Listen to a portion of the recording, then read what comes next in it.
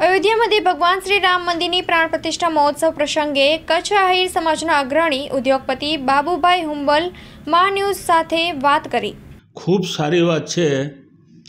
પાંચસો વર્ષથી આપણે જે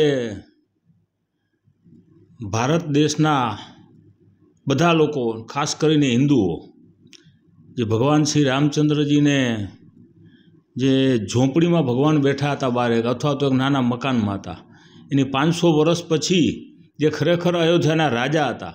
અને હવે જ્યારે પાછા ખરેખર એમની પુનઃ પ્રાણ પ્રતિષ્ઠા બાવીસ જાન્યુઆરીના થવા જઈ રહી છે, ત્યારે આખા દેશમાં નહીં આખા વિશ્વમાં લોકોની આની ઉપર નજર છે.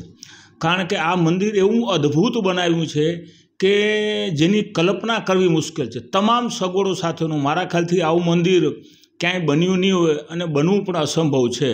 એના માટે ખરેખર હું તો આપણા દેશના યશસ્વી પ્રધાનમંત્રી નરેન્દ્ર મોદી સાહેબને ખૂબ ખૂબ અભિનંદન આપું છું કે એમણે સારો નિર્ણય લેવડાવ્યો એકદમ સારો નિર્ણય અને જ્યાં ભગવાનનું જૂનું મંદિર હતું ત્યાં જ મંદિર બનવા જેવું છે. એટલે આપણા આખા દેશના અને વિશ્વમાં વસતા હિન્દુ લોકો અને ઘણા અલગ અન્ય સમાજના લોકોમાં પણ ખૂબ આનંદ છે અને આ પળને મનાવવા માટે, ઉજવવા માટે દિવાળીની જેમ થનગનાટ છે આખા વિશ્વના અને દેશના લોકોમાં.